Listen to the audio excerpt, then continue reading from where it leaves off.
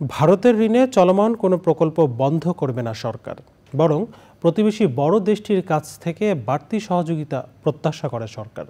ভারতীয় হাইকমিশনার প্রণয় ভার্মার সঙ্গে বৈঠক শেষে অর্থ বাণিজ্য উপদেষ্টা ডক্টর সালেউদ্দিন আহমেদ বলেছেন, ভারতকে ঋণের অর্থ ছাড়ের গতি বৃদ্ধির অনুরোধ করা হয়েছে। পাকিস্তানের হাই কমিশনারের সঙ্গে বৈঠকে দেশটির সাথে স্তীমিত হয়ে পড়া বাণিজ্য বিনিয়োগ চাঙ্গা করার কথা জানিয়েছেন অর্থ উপদেষ্টা। রিপোর্টে বিস্তারিত জানাচ্ছেন রিজভি নওয়াজ একই দিনে সার্কভুক্ত দুই বড় দেশ ভারত এবং পাকিস্তানের হাইকমিশনারদের সঙ্গে বৈঠক করলেন অর্থ ও বাণিজ্য উপদেষ্টা doctor Salehuddin Ahmed.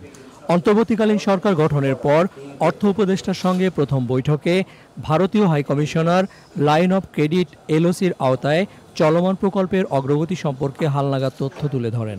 That they are very big projects and located at different sites. So uh, the contractors uh, will be coming back uh, to start.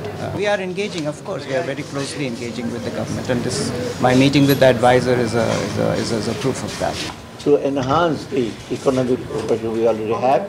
We have some existing projects, a very important one which we took up as according to our felt needs.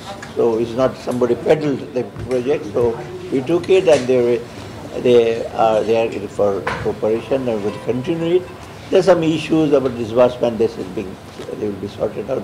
বিকেলে পরিকল্পনা কমিশনে ERD অফিসে পাকিস্তানের high commissioner Syed Ahmed Maruf দেখা করেন অর্থ উপদেষ্টার সঙ্গে. Uh, we had a wonderful uh, discussion regarding the economic and trade relations between Pakistan and Bangladesh. We touched nearly every aspect of that, and uh, we are looking forward to have uh, greater and more in-depth uh, economic and trade uh, uh, cooperation and interaction with Bangladesh, inshallah, in the coming days. পারিপার্শ্বিক অন্যান্য দেশের প্রেক্ষিতে আমাদের interest এবং ওদেরও যেন আগ্রহ থাকে চট করে পাকিস্তানের সাথে ওপেন করে শুরু করলাম এই জিনিসটা ওদের ওরা জানে ওরা চাচ্ছে স্লাইডে যেন আমরা স্টার্ট করি ইমিডিয়েটলি ওরা কি তাড়াতাড়ি কিছু করতে চাচ্ছে না আমরা বলছি না আমাদের হোমওয়ার্ক করতে হবে আর ওদেরও হোমওয়ার্ক করতে। পাকিস্তানের সঙ্গে অর্থনৈতিকভাবে তেমন কোনো অংশীদারিত্ব না থাকলেও প্রতিবেশী দেশ ভারতের সঙ্গে বাংলাদেশের মানুষের সম্পর্ক অবিচ্ছেদ্য।